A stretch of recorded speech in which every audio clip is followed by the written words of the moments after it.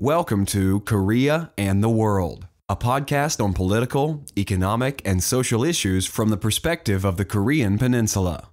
The Korean bar exam is one of the toughest in the world.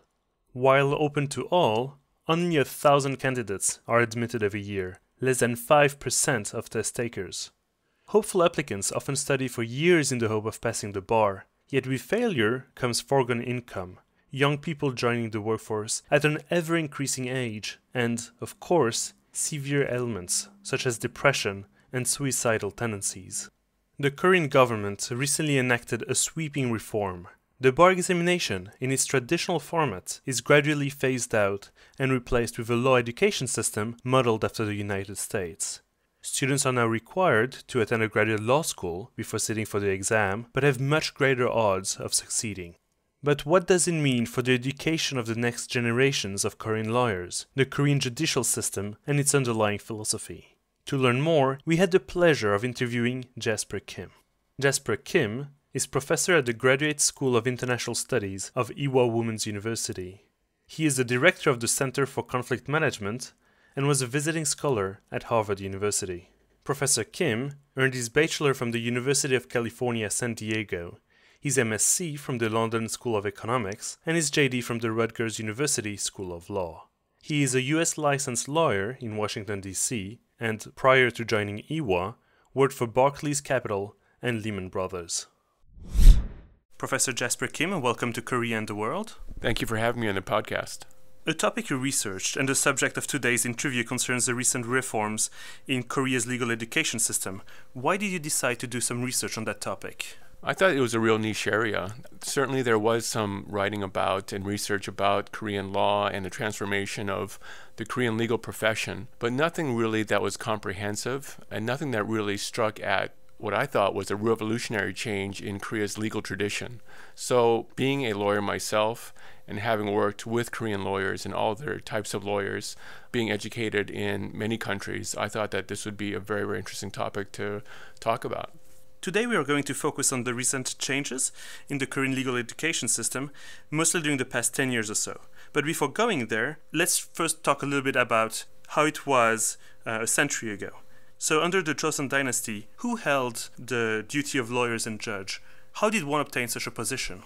The Korean legal tradition goes back, you know, over 100 years. During the Korean Joseon dynasty, there were a couple of institutions uh, that started the Korean legal law school process.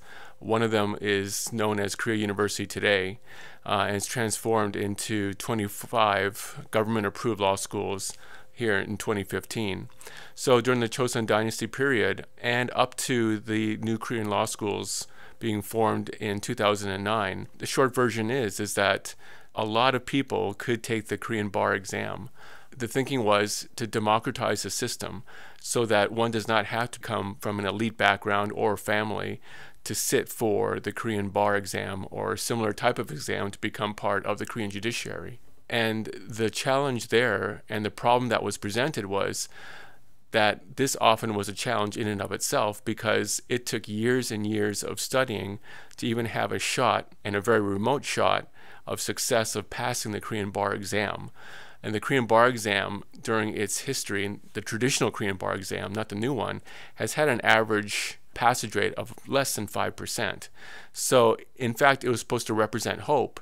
It actually represented an audacity of false hope because it lured many people into thinking or taking a shot at being a Korean lawyer, giving up full time jobs, taking years off to focus solely on passing this extremely difficult, nearly impossible exam and most of the people fail. And what do they do after their full time job was essentially to study for one exam that they failed? It's hard to re enter the workforce.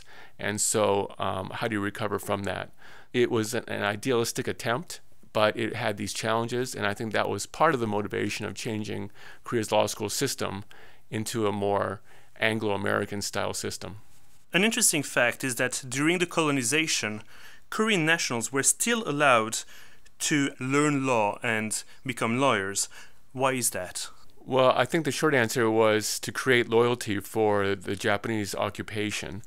If there were no Koreans sitting in the Korean judiciary, the chances of outright rebellion, particularly against the judiciary, when the Japanese were trying to create a rule of law, when they were trying to import the civil law tradition into the Korean peninsula, that would have been much more riskier. So it was a strategy of incorporation, incorporating the local population and the elite local population. And once you get the elite Korean population into the judiciary, then the hope was for a trickle down effect that the general mass population would also fall in line. Of course, that didn't happen as seamlessly as the Japanese would have liked, but that was the intent. So, when did the modern bar exam actually come into practice? Was it already under the Japanese occupation, or did it come afterwards?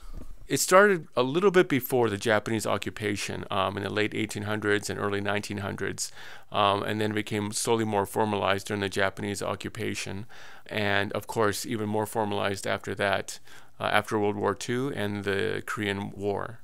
So it was a steady progression. Seoul National University was formed in the 1960s for its law school system, and the others also was created around that time and subsequently to that time as well. A turning point in the legal education system were reforms in 2007. But before addressing them, how was the traditional, let's say, legal education system, so in 2006 and prior to that? Well, uh, it was primarily based on the LLB system in terms of the Korean education system. And then we can also talk about the Korean bar system. These are both what I would package as a traditional system. So, under the traditional Korean law school system, then it was pretty much uh, an LLB system, a bachelor's in letters of law, and that was predicated on an undergraduate law major. How that links to the Korean bar is there wasn't actually much of a link. You didn't need to have an LLB. Uh, you don't need to have an undergraduate major in law or in any other discipline to sit for the Korean bar. And the thinking was similar to what was described before, was to democratize the process of sitting for the Korean bar. But the challenges still existed because so many people wanted to become Korean lawyers, therefore so many people wanted to sit for the Korean bar. But because the competition rate was so intense and so few people actually passed, sometimes the competition rate was uh, one person would pass and 60 people would fail.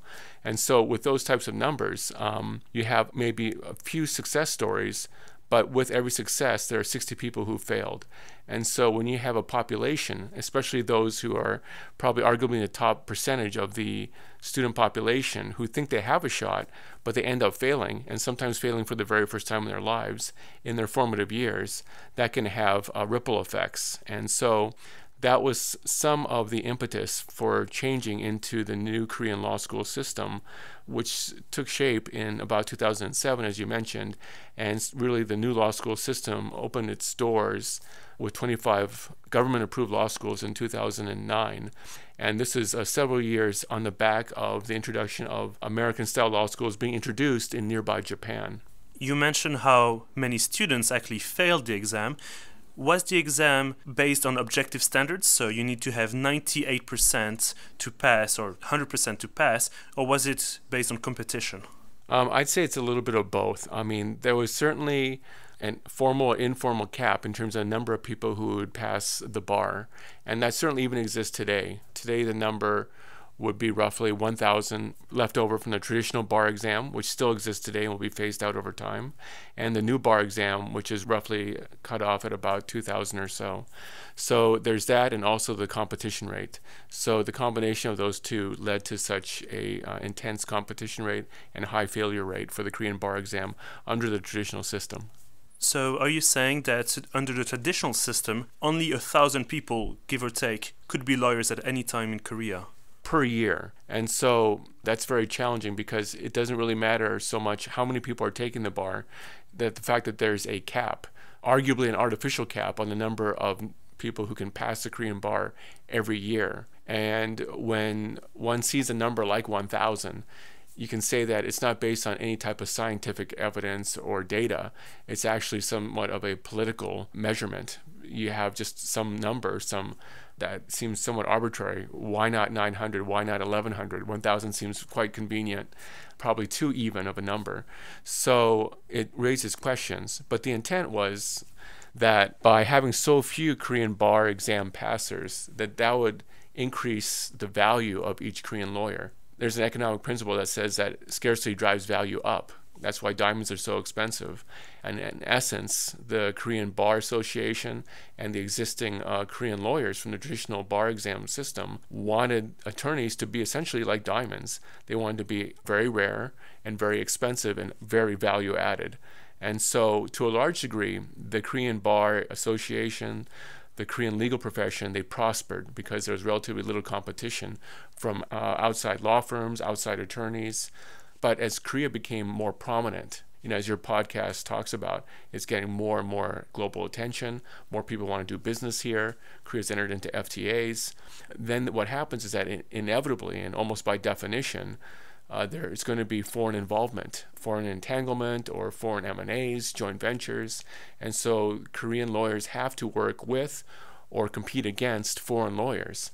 And then that created a stark awareness, arguably a self awareness that said, listen, uh, to compete in this globalized era, and when we go head to head with other attorneys from the United States, from England, from Australia, from Germany, especially when it comes with negotiations and commercial dealings, we really need to somehow change the legal system because the legal system is predicated on basically rote memorization of codes, legal codes. And that might have worked during the Chosun dynasty, but it certainly is much less effective in the 21st century. So, the effort towards globalization is one theme in the Graduate Law School Act that created these new law schools. So, as you mentioned, in 2007, Korea passed the Graduate Law School Act with the purpose of following the United States legal education system. Why is that, and what is so special about the United States system? I mean, how was it different from Korea? Um, there are a lot of differences. And um, so, one question is why the American model and why not other countries' models? Under the traditional system, the legal education system of Korea, it was largely patterned after the civil law tradition of Germany and France, in particular Germany. A lot of the law professors, the faculty of law, received their PhDs from Germany. So, this in part is taken from Japan, which was a civil law tradition. Japan, in turn, got it from Germany and France because during Japan's Meiji Restoration period, beginning in 1868, it was looking to benchmark some of the global powers at the time because it felt embarrassed by having to sign, from their view, unequal treaties with Western powers. So wanted to fight fire with power. And so at that time, Otto von Bismarck was a huge political figurehead in world affairs. And so, in turn, it trickled down from Germany to Japan and then to Korea. And still today, there is a lot of respect for the German educational system and German academia historically. But especially in the 1990s, when globalization started to take more and more effect after the end of the Cold War and after the fall of the Soviet Union and so forth, there was greater, you know, migration of talent and people. And so, in particular, the omnipresence of American businesses was one main reason why it was the American system. And with American businesses came American lawyers. So, if you take a look at the front gate of this university, Ewha Women's University, if you look outside, what type of companies do you see of the foreign companies? They're primarily American companies. We have Starbucks, we have, we used to have Dunkin' Donuts and so forth. And why is that? How did they get there? And why not other companies? Why not French companies and so forth? And you can make the argument that it's because the global footprint of American businesses is in part because when they bring their team over to negotiate, they bring with them lawyers because they have so many lawyers and they have specific skill sets. And if we go even further, the tradition under the American law school system is that law school education is at the graduate level, not the undergraduate level which then means that the undergraduate degree will be one that is different from law. So you have two academic skill sets one in law from the graduate law school itself, and second, the one undergraduate degree that you had before. So let's say, as in my case, your undergraduate major is in economics, and then you get a law degree. Having a law and economics background is quite beneficial. You sort of have a competitive advantage because you can understand sort of the business financial aspects of the deal in addition to the legal contract provisions. It's basically one stop shopping when going head to head with someone when all they know is the legal side of things. And that's quite constraining sometimes because when you think like a lawyer, generally but not always, you're defensively postured. You're trying to mitigate risk, but you're not maximizing opportunity. That's more of a business mindset. So to have someone who can think in both ways and think of creative solutions, that's what I think the Korean judiciary thought.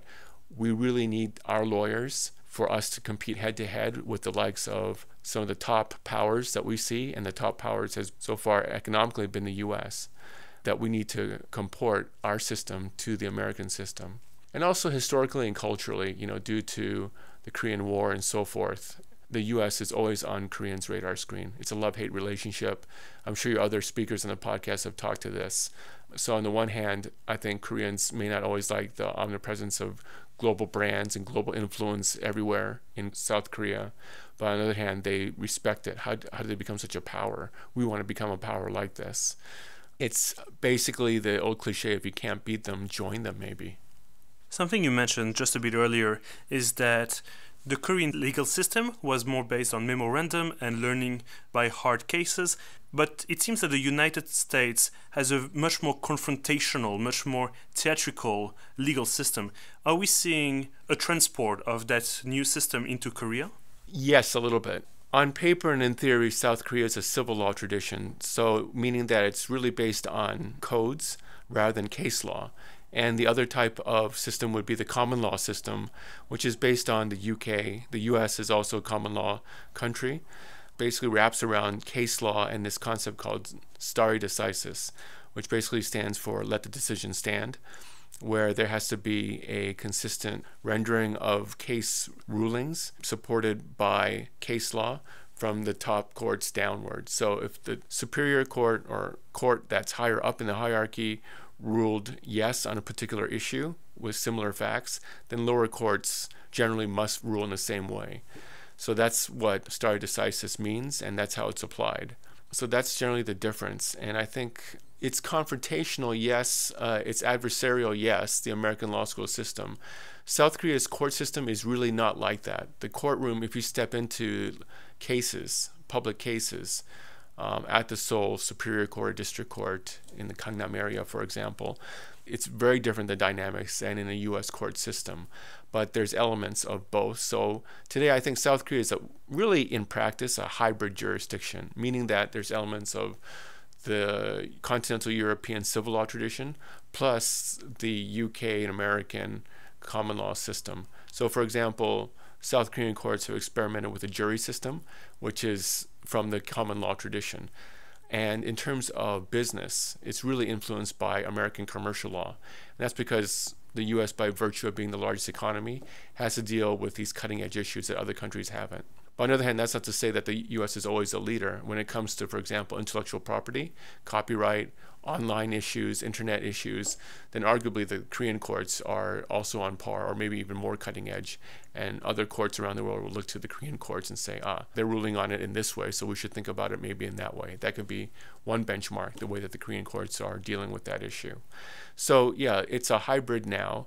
And I think Korea is facing a lot of issues that a lot of other countries are going to face or have faced. In my view, you'll see a great convergence just like there's been a convergence of English as a business language, I think that really on paper, whether countries are civil law or common law historically will matter less and less. There'll be a convergence because, at least from my experience as a former practitioner with the likes of Lehman Brothers and Barclays Capital, dealing with all sorts of lawyers from different countries, no matter what country they're from, uh, what type of food they eat, what their culture, when they talk about particular commercial issues, dealing with complex financial issues, there tends to be a convergence in how to think about this and how to get to solutions. So maybe there will be a greater convergence that Korea is following, has created. And I think we'll see more of that, not just in Korea as it experiments, because there's not one right answer now. There'll be maybe a South Korean model that other countries will look to, and there will be other ways that uh, other countries will do. But China, for example, we'll look at South Korea, I'm sure. They'll also look at the US. So there's not going to be just a couple of great benchmarks and that's it. It's going to be a plethora of benchmarks, of which South Korea will be one of them. So, what did the GLSA actually entail? You mentioned that there are 25 universities, graduate law schools. What else changed? Well, the GLSA itself has a few provisions that are, you know, some are more equal than others, but some are more pertinent than others. So, one is the fact that there's 25 law schools in itself, why not 30, why not 50? I think it was the short answer is South Korea looked at what Japan did. Japan basically allowed almost any university to convert into a graduate law school system. And what that did was create an oversupply of lawyers, new Japanese bengoshi or lawyers. And so South Korea didn't want that to happen. So what it did is placed a cap. Again, it's kind of a nice, convenient number 25 and then you wonder why is it not just 20 or 30 so then when you get to a number like 25 you must think well one side must have wanted 20 another side wanted 30 and they negotiated in the middle at 25 another feature of it is that um, 50 of, of the 25 have to be in the Seoul or surrounding Seoul area, but the remaining 10 must be outside the Seoul metropolitan area. Um, that's mandated. And so you know, one argument for it is that well, that's good because what that does is sort of equalize the playing field. It doesn't create uh, a system where all the top law schools are in Seoul, because the thinking is that most of the best schools are in Seoul. And this is under the Roh Moo-hyun administration, whose mandate was to sort of equalize the playing field and avoid regionalism. But the counter argument is, you know, why place an artificial government cap on this? And so why not just let the best schools just be the best schools and make that the 25 law schools because the way that the 25 law schools are treated is a de facto law school ranking. These are the top 25 law schools. And each of the law schools of the 25 are given a specific quota of students. I think the largest number is to Seoul National University at 150, and I think the lowest number of students is 40. So that in itself, within the ranking of these are the top 25, there's another ranking. The law schools who are afforded and given the most student quotas are the higher ranked ones of those. But then that raises another question with 40 students and you have a faculty of 20 or so, how do you maintain a sustainable, you know, law school? The other part is that applying for the law school, you have to pass the LEET, the law school entrance test. And so that is very similar to the law school uh, admissions test, LSAT in the US. And the LSAT is basically a system in which it tests the way that you think. It does not test the accumulation of your knowledge. So it means that there won't be any questions about the law directly or even indirectly on that test. It'll just give you conceptual questions and also reading comprehension questions. Uh, another component of the GLSA is that it focuses on the faculty. So 20% of the faculty must be practitioners um, and practitioners with five years of full-time experience or more. So that's a signal that uh, this law school system must be one that's not overly theoretical, which in turn must signal that the previous law school tradition was probably viewed as overly theoretical, which is probably taken from the German model, which is could say it's very theory based. So they want something that's more practical, more uh, professional, if you will, because the ultimate aim is to become a licensed attorney. And part of applying for these law schools is to submit a foreign language capability or competency exam result, typically, you know, TOEFL or something of that nature. And that's another signal that the Korean judiciary wants a global Korean lawyer, no longer a provincial Korean lawyer. So uh, these are some of the things that distinguish it from the past. And I think if you put it all together, you see something that what is the ideal Korean attorney under the GLSA? It's someone who is uh, multilingual, probably multicultural, and who can is well versed in the theory, but also willing to get his or her hands dirty in the practice of things to form the ideal Korean attorney under this new law school system. But then this raises the question is is that really what actually was created at the end of the day? So, if you don't mind, I'm going to pick a few of the things you mentioned and try to go further. You mentioned that there are 25 universities, but what about all the other universities that did not get that status? I mean, did they just shut down or coexist right now? Yes, they do coexist. So, for those who were selected, for example, Seoul National University, that means that, they would have to shut down, as part of the GLSA, they would be mandated to shut down their undergraduate law degree program and then create this new law school system at the graduate level. But those who weren't selected, the 25 who weren't selected, they could either just shut down their law department, saying that, well, we weren't selected, so that's it, or they could just continue with their law program. The challenge there is that because this new law school system, really to pass the new Korean bar exam, you have to be a graduate of one of these 25 new law schools. But if you're not selected as one of the 25, then how do you sustain as a law department then? Who would want to go to your law school? Well, they're going to keep the traditional Korean bar around for a little bit longer and phase it out, but it won't last forever. It'll be phased out in the next few years. So that's really the question. What do you do? Maybe you can focus more on, as you mentioned, the LLM or PhD programs to foster an academic PhD track. But really, the choices are quite limited because of this. Um, what do they do? It's really up to each law school to figure out what to do. But there's a more downside than upside as a result of not being selected. The core idea behind this reform was to allow more people to actually pass the bar exam, but there's been criticism just very recently that close to 99% of students accepted to the top universities were actually between the age of 20 and 30. And that was a problem because only those wealthy enough to afford school, probably with their parents supporting them, were actually able to go there. Are we seeing a failure of the system already? Well, if it's a failure, I'm not saying that it is. It's I would argue that it's not based on that metric, uh, and the reason why is that the law school tuition and associated costs are direct costs, and you can calculate how much it'll be. If you take the law school system route today, then you know that if you're accepted, that the chance is quite high of success because the passage rate for the Korean bar exam under the new law school system is relatively high it's over 50% as opposed to less than 5% before. Under the previous system, you can argue, well, you don't need to spend three years of graduate law school tuition. So it's cheaper, it's free, basically. But then think about the average successful exam passer under the traditional system took five years on average. Average age was about 29 years old. And that's the one out of 60 who passed. What about the other 60 who failed? Five years of foregone income, five years of having to pay for their own room and accommodation, and also to take prep exams. So I don't know what's more painful. If I had to choose, I would say, listen, if a law school has accepted me, and I know the passage rate, if I take this route, is relatively high, and I know the costs, then I think that would be probably a lot better in terms of if I did the cost benefit analysis than one where default is failure and the outlier is success and it has similar downside costs too in terms of accommodation and so forth. Plus there is a reputational risk of being branded a failure which if you're branded a failure in South Korea it's very different than in America or, the, or Europe. Here you only get one shot at something and if you fail people don't give you a chance to pick yourself back up and repackage yourself. It's sort of a scarlet letter it's really hard to to redeem yourself after that. That's very unfortunate in this society, and so that's why, again, the law school system it's a little bit more expensive, but it's not an expense per se. I would argue it's an investment. However, under the traditional system, I would say that it's more likely an expense and less of an investment. It's more like winning the lotto. You mentioned that there are actually quotas on what type of professor can teach. What about students? Are there quotas on what type of student can be recruited?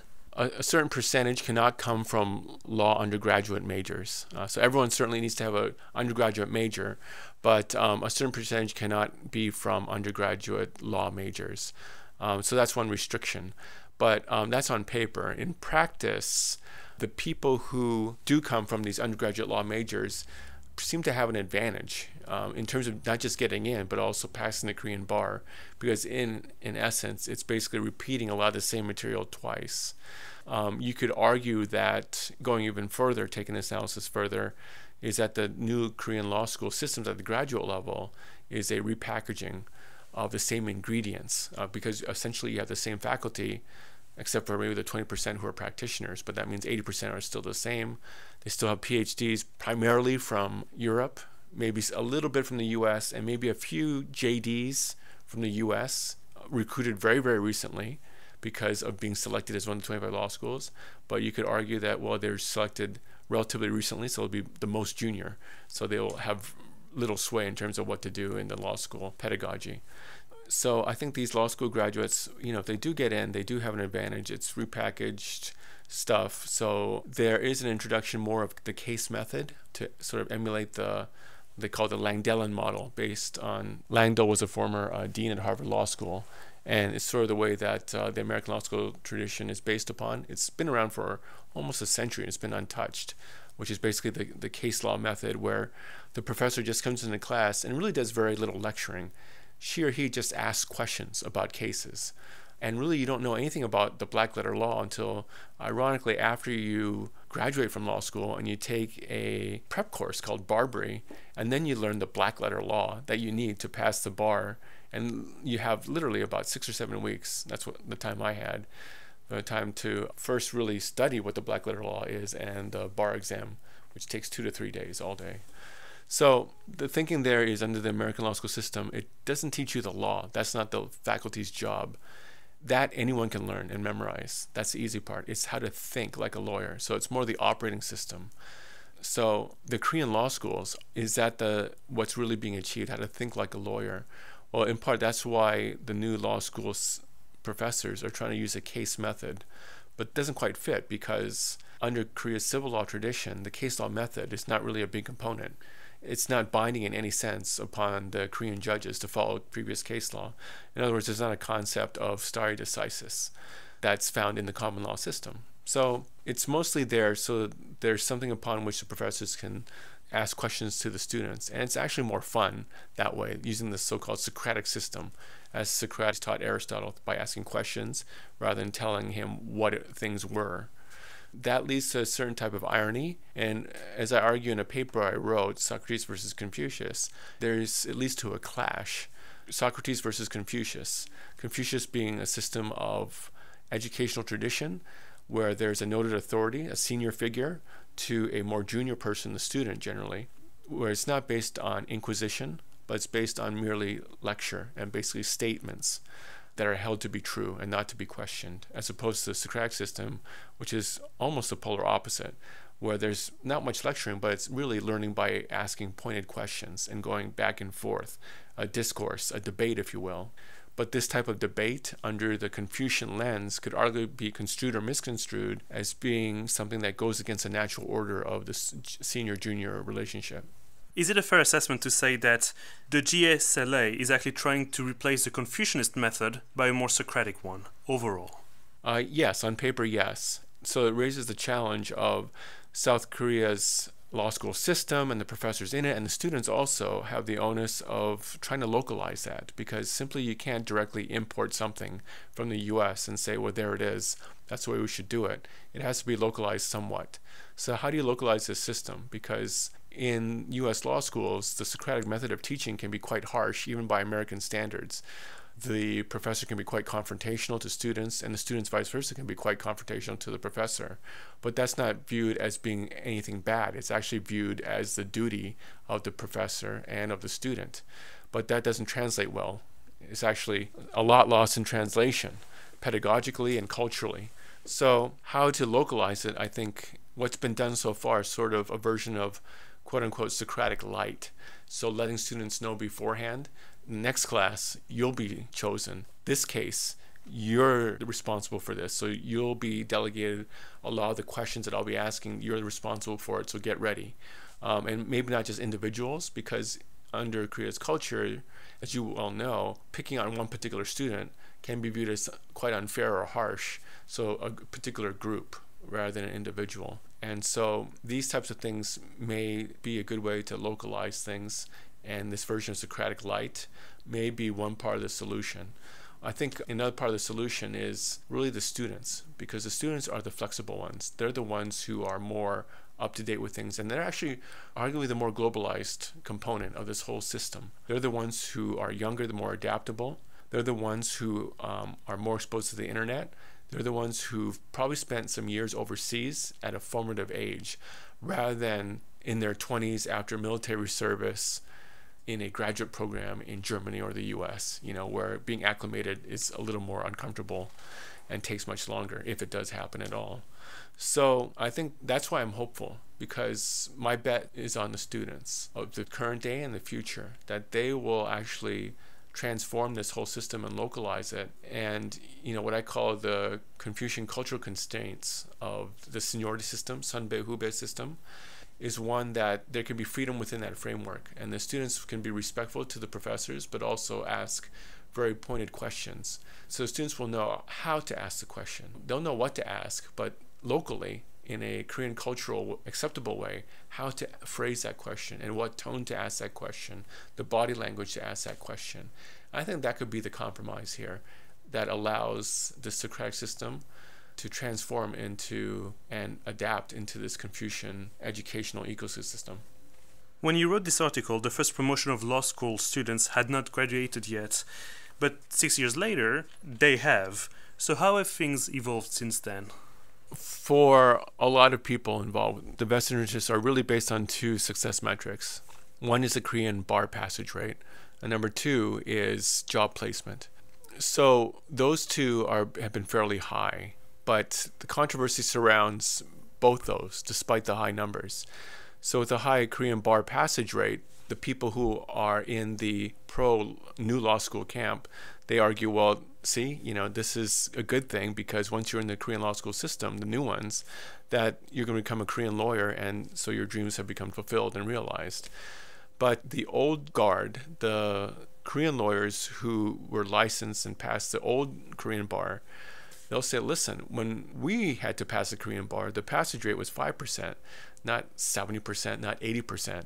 This new bar exam is a joke. Anyone can pass it. So it's really doing a disservice to the reputation of Korean lawyers for us, too, the old guard.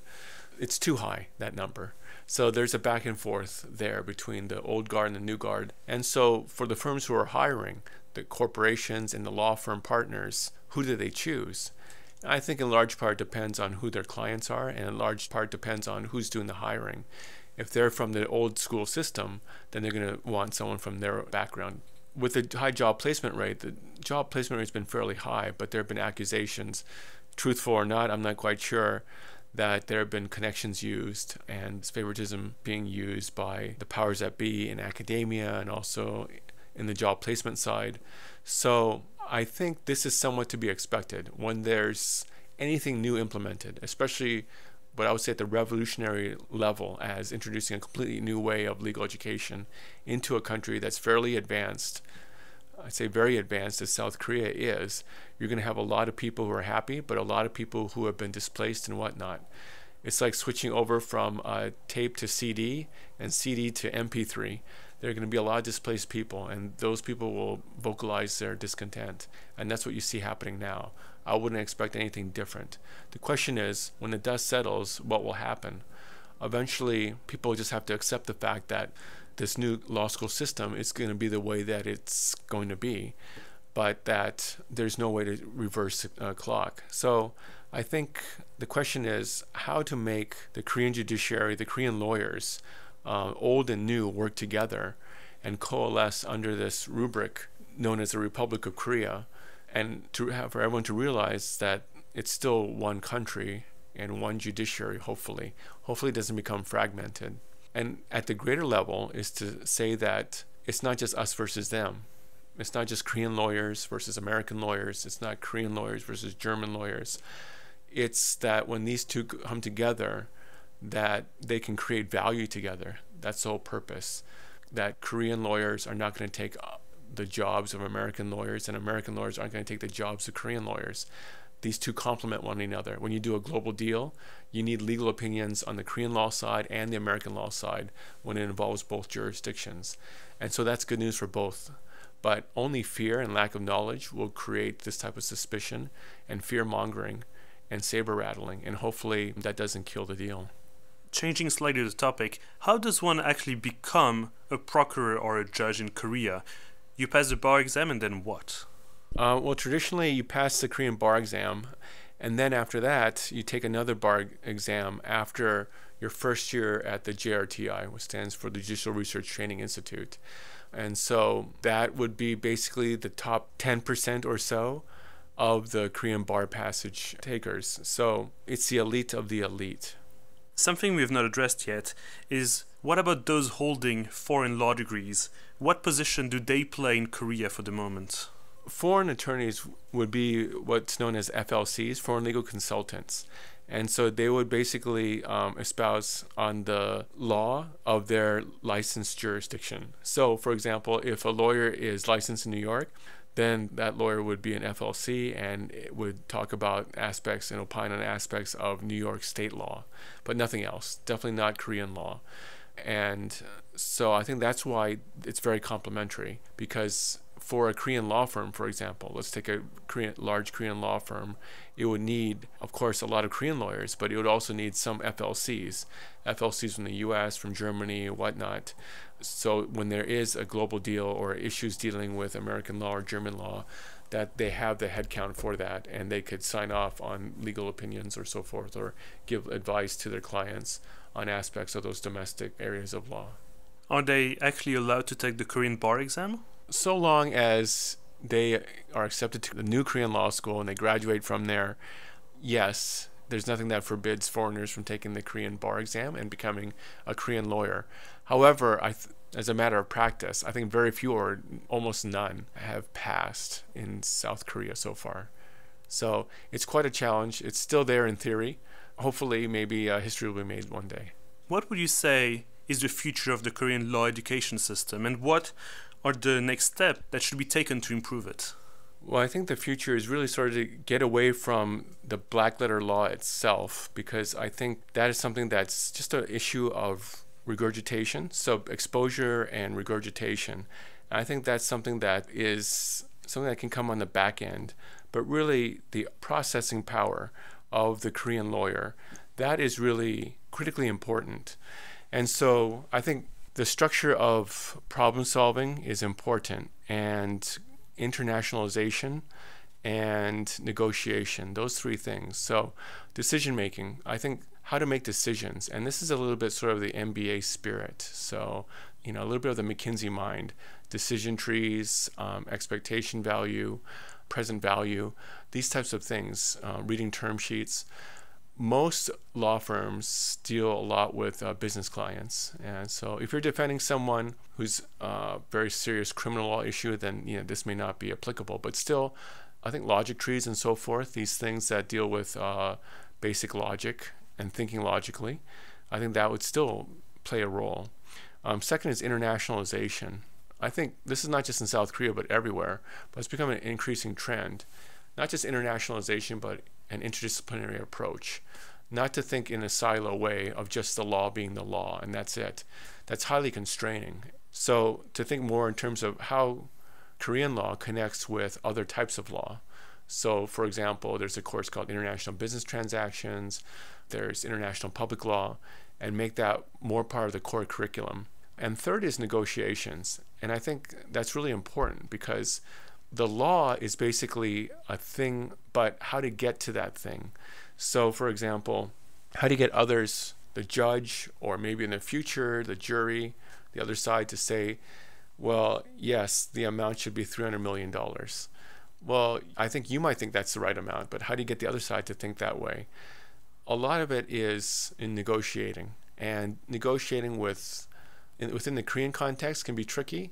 Often it can be very competitive, but it gets even trickier when you're dealing with people from other backgrounds. And in particular, if you're dealing with a education system where you have people who come from very wealthy backgrounds and that's all they know how to relate with and then how do you deal with people who are different from you and maybe different economic classes, different communities, different countries, but how to negotiate with them.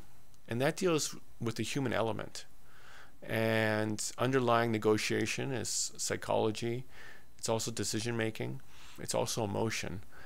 And when people are just so focused, spending time by themselves in front of a book for most of their lives or in front of a, their smartphone, then dealing with a human can be very uncomfortable, very unsettling, and that can lead to a lot of unfair or ultra aggressive or non optimal outcomes, you know, for the client or for the firm and just for society in general. So I think those three things are critically important for the Korean legal education system and also for the Korean judiciary, the lawyers out there that, you know, behind the fancy title, behind the license, that they are people and they're dealing with real people.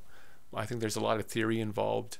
When it deals with criminal for example, you're dealing with real victims, uh, you're dealing with real families who mourn for their loss, but it can't be treated like a simple page in a casebook or in a file or folder.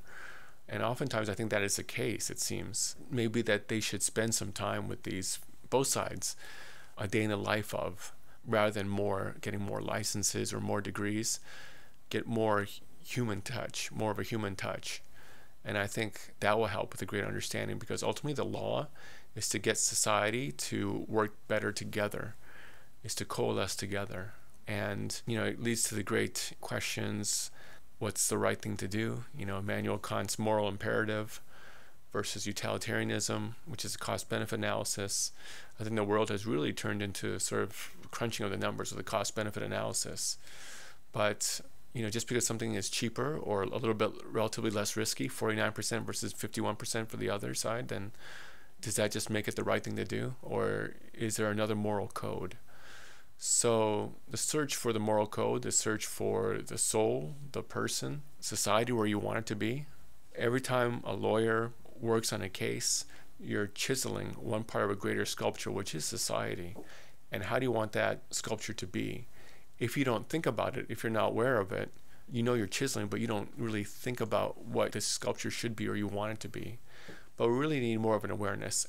And that is really fostered best in the formative years during undergraduate years, maybe based on philosophy, of course, economics, and these other disciplines, but also, you know, within the law school tradition.